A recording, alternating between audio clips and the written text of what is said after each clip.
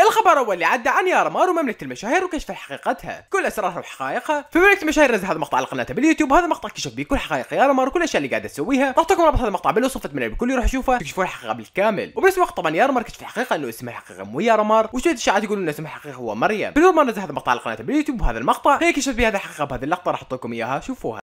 آه. تمام؟ لا. لا. يعني. اسمي الحقيقي ميارا وغيرته لأني كنت على ال social media فاكتبوا لي احبابي بالكومنتات شاركوا بهذا الخبر وطبعا لا تنسوا الرابط بالوصف روحوا شوفوا وشوفوا الحلقة كاملة.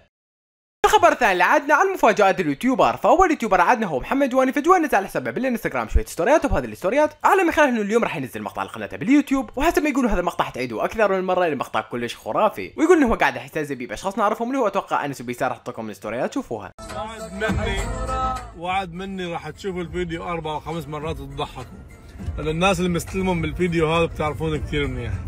واستنوا استنوا شيخ وابن عشيرة أما اليوتيوبر الثاني اللي عدنا فهي هيلا TV فهي اللي نزلت هذا المقطع على قناتها باليوتيوب وهذا المقطع كشف به حقيقه زواجها. وهذا المقطع هي ردت هل هي تزوجت؟ في هذه هي سبب تركت اليوتيوب. فحسب ردت إنه لا هي ما تزوجت. بالاربع سنين اللي فاتت ولكنها تزوجت من كم شهر بس. وسبب ترك اليوتيوب من كان سبب الزواج. أحطكم الستوريات تشوفوها اللي عم بنسأله من أول ما رجعت على يوتيوب. غالبية ال comments عم بتقول تزوجتي تركتي اليوتيوب لأنك تزوجتي. هل هذا هو السبب الحقيقي؟ أنا ما تزوجت.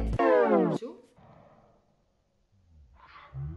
لا أنا ما تركت اليوتيوب لأتزوج ولا تزوجت بآخر أربع سنين مثل ما بعض الناس. قالوا زواجي صار من كم شهر؟ أنا أنا ما تزوجت.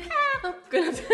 ما تركت القناة لأتزوج. هذا هو فما كانوا الموضوعين مرتبطين ببعض ابدا. هل رح تطالعي زوجك باليوتيوب وتعملوا قناة تسموها عيلة هيلا. في عندي خبر رح أعلن عنه أول ما نوصل 15 مليون مشترك على قناتنا. فكتير كتير كتير قربنا. كتير متحمسة للي جاي فخلينا نوصل بأسرع وقت. الخبر الثالث اللي عدنا عن إنس شايب والفضيحة اللي انتشرت له بالتيك توك. انتشر مقطع إنس شايب اللي هو قاعد يسوي بيه مكياج. وقاعد يحط عدسات ومدري شنو ويقول له أنت صاير أميرة. اعطيكم هذا المقطع شوفوا شلون. بحط lenses. أنس الشايب يا أخوان. هيو فيديو مباشر يعني مش مباشر بس حبيت اصور لكم اياه والله انك cute يا زلمه نظيف فلاح. فاكتبوا لي حبايب بالكومنتات هل صدقتوا تشوفوا أو تتوقعون هذا الشيء عادي من أنس الشايب. الخبر الرابع اللي عدنا عن كشف حقيقة قمر مار ووفاة أبوها، فكشفت هذه الحقيقة عنها بالمقطع اللي نزل امبارح عن نور مار، تحديدا بالدقيقة 26 نور مار صار يقول إنه أبو قمر مار ميت، طبعا الله يرحمه يا رب راح اللقطة مو شوفوا. بعرف أنا السؤال بس الصدى اخر شيء إنه كنا عم نحكي انه إنه ما في حدا هون اليوم ميتين غير أبو قمر.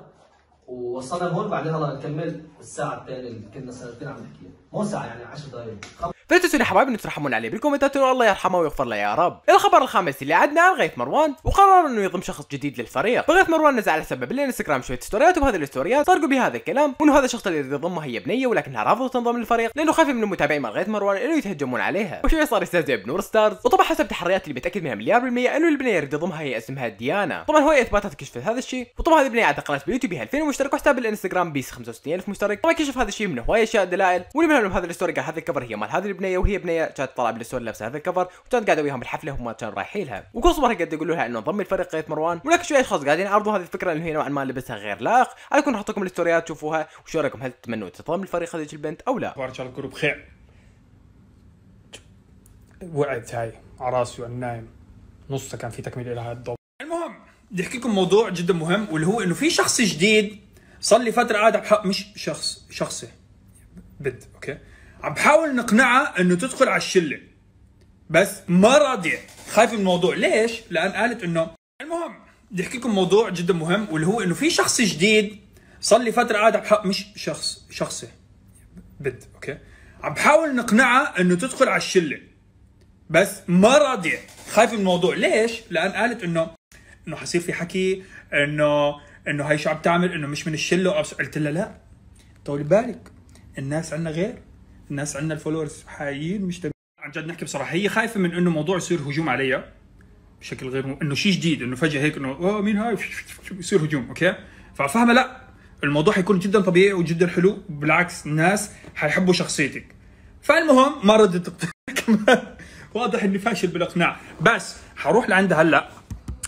وحصور ال stories بس ما حطلع مين هي. حنشوف. أنتوا أنتوا لحالكم يعني ممكن أنتوا تقنعوها. اللي عرف مين هي يفوت يروح يقنعها. شوفوا أنا حاليا بالطريق لعنده okay بس بما إنه أنتم أشطر مني بالإقناع فاكتبوا لي بال box هيك أول ما تدخل مثلا شو أقول. بعدين مثلا بعد شوي شو أقول. أنتم اكتبوا لي أشياء؟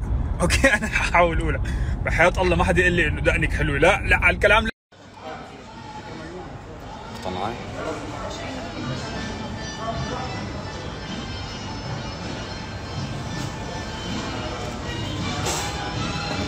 يلا يلا يلا بالله يلا. okay شوفي. أنا فاشل بالإقناع. okay؟ بس لازم تقتنعي. حبيبي هيك ما حتقتنع ابدا. ال cover حلو. لا. ليش؟ لا دقيقة. ليه؟ طب ليش بس تصرفات؟ احكي حكي طب خلص هذا- هذا مشان يقنعك. والله حلو. إيه إيه إيه. ما قادر تحكي كمان شوفي حكي حكي عن جد منطقي okay؟ هلا بالشلة ما في غير ما في غيرك. ما في غير سارة. طب مو حرام أنا وحيدة. okay؟ المسكينة صارت تلطش معنا بنات. والله لازم حدا يدخل معها أنا يستعمل لازم ما أضحك. والله حرام. مشانع. كنت عم بقبل applications لبنات ما عجبني. شوفي بتضلها بتفوت على شو اسمه بتدور على بنات. لا عن جد كرمال سارة. ما شو؟ أها علي صوتك شوي. لا وبس هون خلصت المقطع حبايب مقطع يا رمار بالوصف. أتمنى من الكل يروح يشوفه. وبس جاكم فايز زي مقدمه مثل القصص ومع السلامة.